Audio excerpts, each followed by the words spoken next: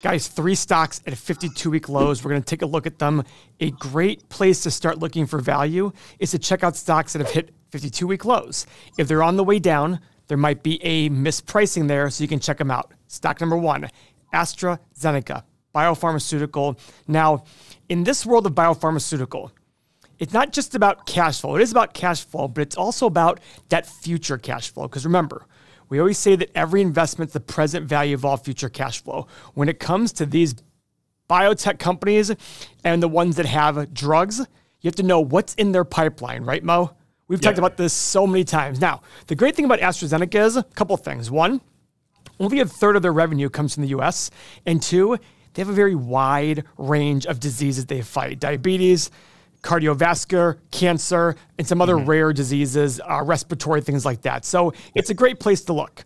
Now, this is a $200 billion market cap business, okay?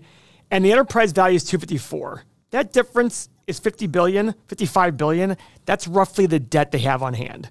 And here's the issue I have, Mo. Look at this.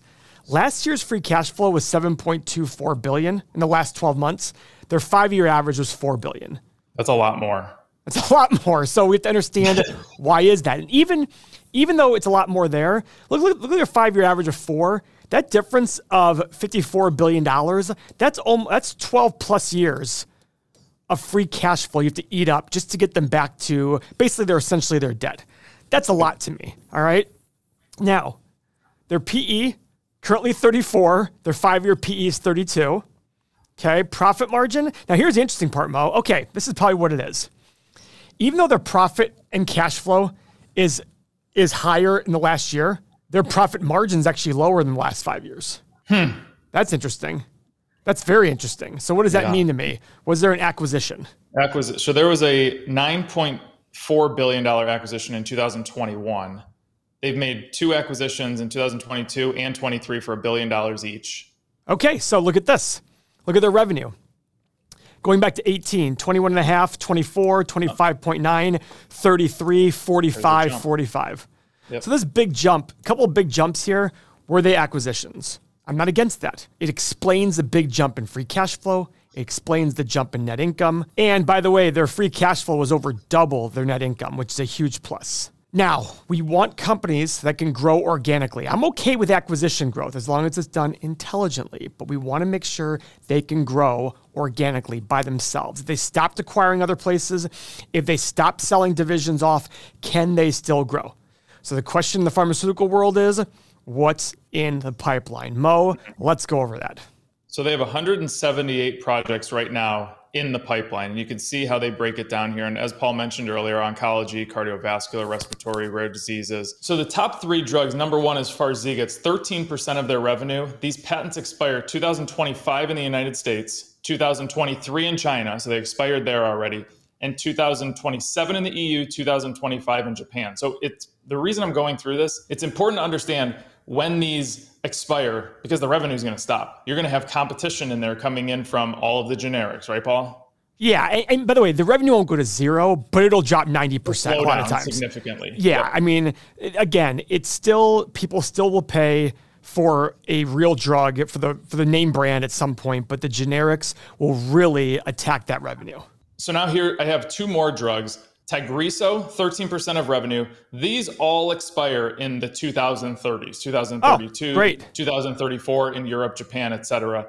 And Imfinzi, same thing in the 2030s. So those are two drugs that make up 13% of revenue that don't have, have any expirations in the 2020s. So Mo, just to clarify, do all three jugs get have 13% of revenue total, or is it the first one was 13 and the next two were 13 one's 13%, second one's 13%, last one is 9% of total revenue. Okay, so the, the 13 and 9%, 22%, they ain't expiring soon. Yep. The first drug at 13%, that is going to be off the books here in the next few years. So yeah. the question is, what do they have in phase one, phase two, and phase three? Remember, guys, when it comes to getting drugs approved, there are three levels phase one, phase two, phase three. Phase one is the initial stages. At phase three, the likelihood of getting approved is like 55 or 60%. But it's not just about is it going to get approved? Is it marketable? Right. That's the big key. If the market's not big enough, if it's really not that useful, it doesn't matter if it's a phase three. So this is where, when it comes to biotech, before you go buy into these biopharmaceuticals, I mean, make sure you understand how marketable these drugs are. So Mo, what do they have in these phase? Oh, look at that list. That's great. So you can see the phase breakdown here. A lot in phase one, a lot in phase two. But what I really like, watch when I scroll here, phase three, they have a lot of phase Ooh, three drugs. Wow. So that's really great. And you can see that they're already starting to do combinations with their phase two with the phase three, three drugs that they have. So this is a very active company. They've been around for such a long time. They do a great job. And it's really nice to see that they have a lot of drugs in phase three that are probably marketable based on what I'm seeing right here. So, guys, this is the eight pillars on AstraZeneca. It's rough, but remember, this five year PE and five year price to free cash flow are probably skewed too high. I like the fact the, the price to free cash flow is lower than the PE, but remember, this is in fact this this only factors in partial of the acquisitions. Um, 18% increased number of shares that could have been because of the acquisition. The debt level does bother me a little bit.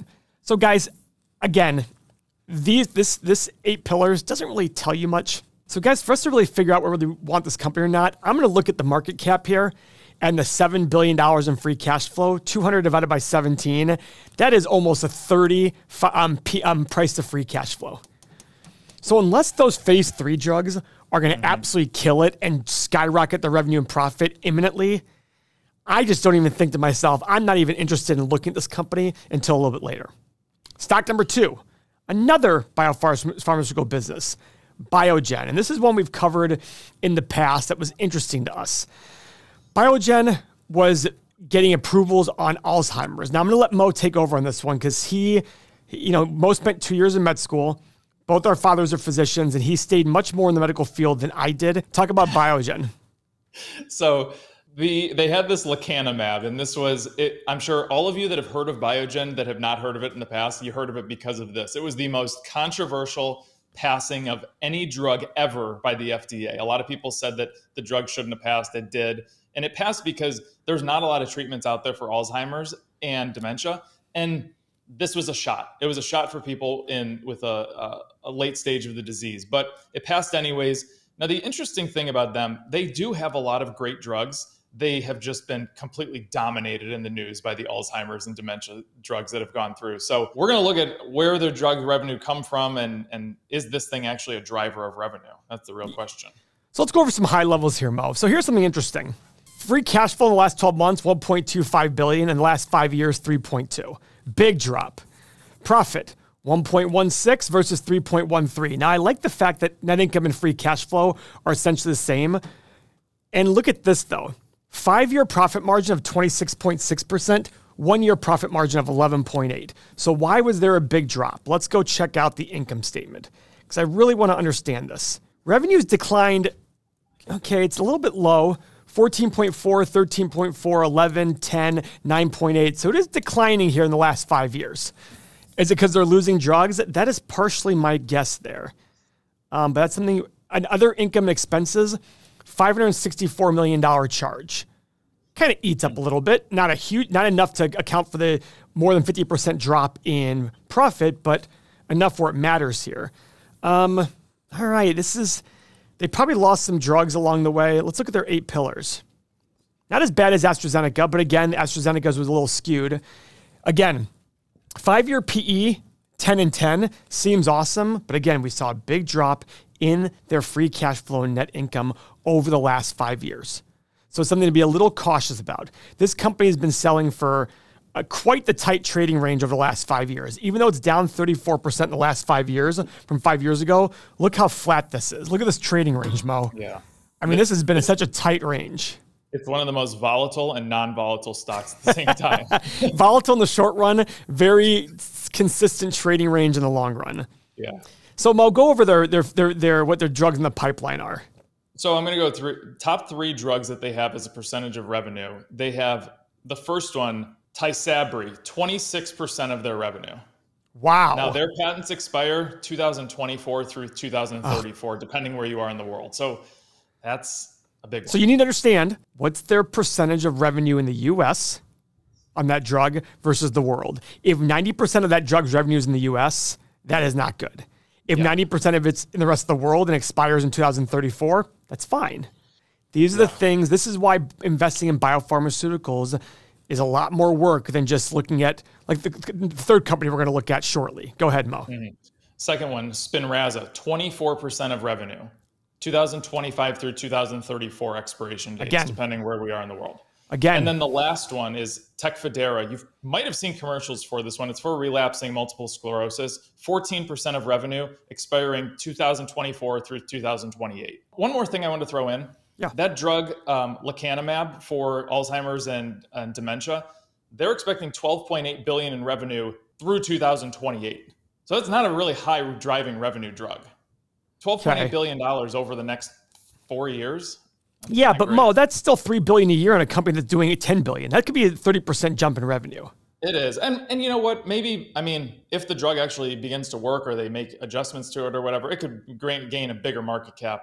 Uh, I'm sorry, a bigger percentage of revenue because that is a very big disease out there, especially in the states. And as the average age yeah. of the of people increases because life expectancy increases, you're going to see a lot more drugs for dementia, Alzheimer, cancers, things like that. You know, not many people 100 years ago were dying of cancer because people weren't living long enough to really get cancer.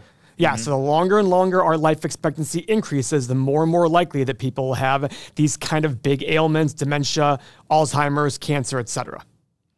Stock number three, and one we're going to actually do the stock analyzer tool on Hormel Foods. For those of you who don't know, it is, they're the creators of one of the classiest foods you'll ever eat in your life, spam. So let's check out Hormel Foods. We've all had spam. Mo, you've had spam, right? I actually have never had spam. You've never had spam? No. You absolute snob. I've never even thought to open that weird looking can and eat some. I actually but they do have the good. best canned chili out there. Hormel does? Yeah. So, guys, Hormel Foods, $16 billion market cap. 20.85 billion enterprise value. That difference of 4 billion is their is essentially their their net debt. They did 780 million dollars in free cash flow last year. 760 is their five year um, average. Very consistent. Not much of a grower. Um, more of a shower. A shower. Pro- profit margin last five years 8.3 percent. Last year 6.6. So down a little bit last year. PE and price of free cash flow about the same. Huge dividend, Mo. 3.7% eats up 600 million of their 700 million dollars in cash flow. Ooh. Low return on invested capital. So thank oh, you very so much. Good at it. So so good. Thank you very much for distributing money and dividends and not wasting it doing stupid things. Um, so far, I'm kind of like, wow, why is it selling for such a premium on such a slow growth company? Let's go check out the income statement. So 20 times earnings for a company that's not growing very much. This was clearly an acquisition here, Mo. When it jumped from 9.6 to 11.4 billion in these two years, clearly there had to be an acquisition. So let's go check out the cash flow statement. Oh yeah, right here. 2021, ah, 3.4 billion. It's quite the acquisition. Planters snacking business. Oh wow, really? Including Planters nut tri- nutrition, Planters cheese balls, corn nuts. I love corn nuts. You do love corn nuts. Sure. Let's go check out their eight pillars. Five checks. Like we said, I don't like the fact that their price to free cash flow in the last five years is higher than the PE, but it's not too far off. Bad ROIC. Barely increased their shares outstanding. Might have been from the acquisition. Who knows? Net income drop, but cash flow growth in the last five years. So that's good. Um, nothing. I'm writing home. I, I'm looking at this going, eh.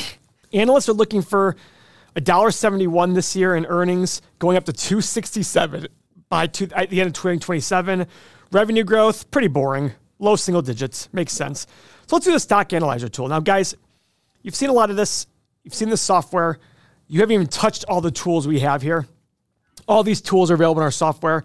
If you're interested, we have a seven day free access, full trial, full free access for free seven days at everythingmoney.com. Go check it out. You'll have the community, you'll have all these tools back here. Everythingmoney.com. Go check it out. Okay. Mo, give me some. Yes. Uh, we're going to do a 10 year analysis here. Give me uh, your revenue growth assumptions for Hormel Foods. I was thinking one, three, and five. I like it. Not going to be sexy. My guess is the revenue is going to go up with inflation. Yeah. Because as things cost more, they're going to have to increase their prices, etc. Profit mm-hmm. margin. I did six, seven, and eight. See, I think that's too low. Here's why, okay. Mo.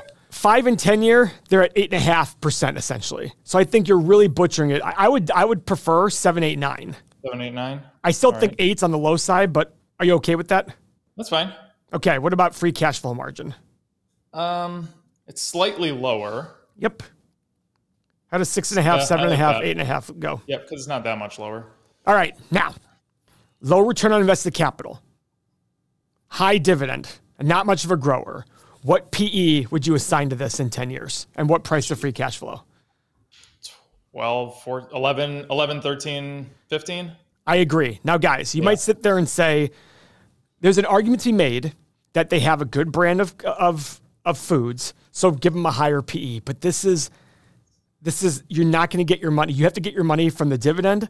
You have to get your money from paying a very low multiple for it and hoping that the market just gives it a higher multiple at some point. Low return on invested capital and decreasing return on invested capital. This means yeah. that as time goes on, they're doing a worse job with the money. Yep. We don't want to give them a high multiple for that. You might disagree with me, and that's the that's the great part of investing.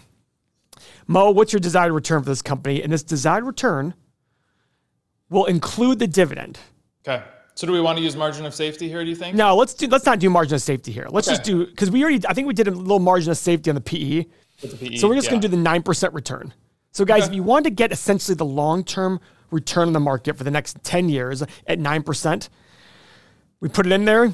The stock's currently at twenty nine, and don't forget, guys, everythingmoney.com free seven day full access trial. The stock's currently at twenty nine. All right, we have a low price of 16 or 17, a high price of 33 to 35, middle price of 23 to 25. And again, this all includes the dividend and not much margin of safety. So, guys, thank you very much for your time.